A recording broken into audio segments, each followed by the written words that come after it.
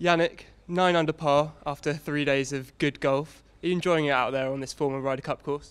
Yeah, it's an amazing course. Uh, I've never been here before, so um, I've heard a lot of good things about it. Um, and then, yeah, really enjoying the week. Conditions are great, um, and yeah, it's a demanding course. If you hit good shots, you get rewarded. If you hit bad shots, you get penalized. So I like that kind of setup. So I'm looking forward to tomorrow.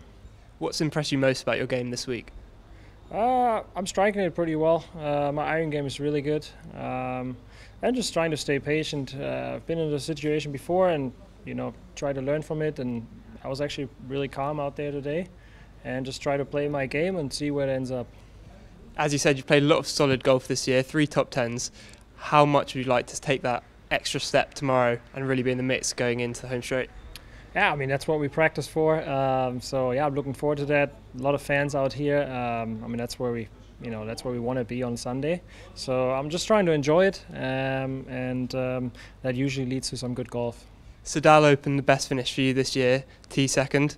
Um, what is it specifically that you've learned going into tomorrow that you think is going to really help you? Yeah, I, I think you just got to play your own game. I don't really look at leaderboards too much. Um, just try to you know stick to my game plan because I think that game plan gives me the best chance to you know for the lowest score possible, um, and then yeah see where I end up in the end. Yeah. Thanks very much. Good luck for tomorrow. Yeah, thank you. Yannik, nine under par through three rounds. Some good golf out there. What's impressed you most about your game and how much you're enjoying this Ryder Cup course, former Ryder Cup course, I should say?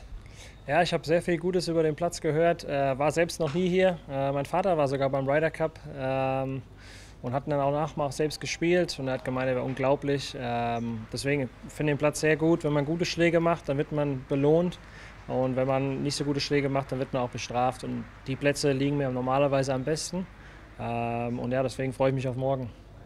As we said, you've played a lot of solid golf this year, three top tens. How much would you like to that, take that extra step tomorrow and be in contention when it comes to it? Ja, I mean, dafür trainieren wir ähm, und ich, ich versuche es einfach zu genießen. Ähm, wie gesagt, ich war schon mal in der Position und habe das da sehr gut gemacht. Deswegen ich freue mich auf morgen und dann ja, versuche ich einfach mein Spiel zu spielen und schaue dann, wo es am Ende bei rauskommt. Thinking back to the Sadal Open specifically, is there anything that you learned that in particular that is going to stick in your head tomorrow as you look to make this first DP World Tour win?